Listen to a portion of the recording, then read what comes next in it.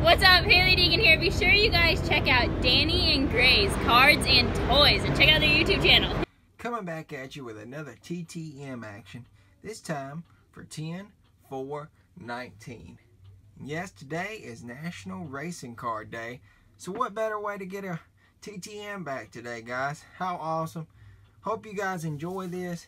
I've done pre-open it. I kind of wished I would have waited, but I was just too anticipated because of the type of envelope that this is. This is a photo envelope. It's not my standard envelope like I use for my standard TTMs. So, I know that I have two photo envelopes sent out as far as I know. I think I have three, but I know of two. One was Hailie Deegan, one was Dale Jr. So either way, it was going to be epic. So, we got back from none other than Boom. Hailie Deegan. And she signed it to Daniel. I'm not too hip on the two Daniel thing. But I, I, I tell you, this is a good success, but it's a bad success at the same time.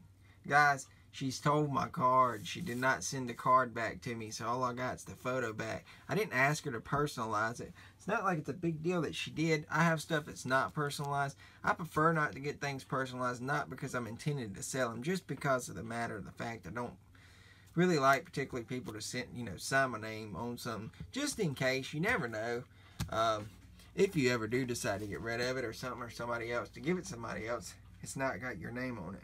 But we sent this photo off on, I think, February the 19th, 2019. And I sent two items, one being the photo, the other one being the uh, 2018 Victory Lane rookie card that I'd sent her. I wished I would have never done it. I, the photo alone was, I guess, sufficient enough. But I got it back.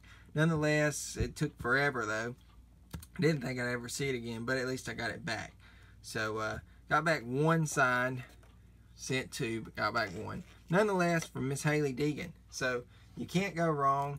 And uh, like I said, you live and learn. I probably won't be sending to her again. I'll just wait to get her in person or uh, the next time I see her to get the rest of my stuff signed.